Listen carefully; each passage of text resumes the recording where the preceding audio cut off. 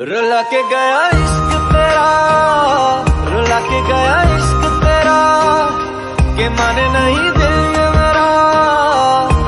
कैसे चुप मैं करूं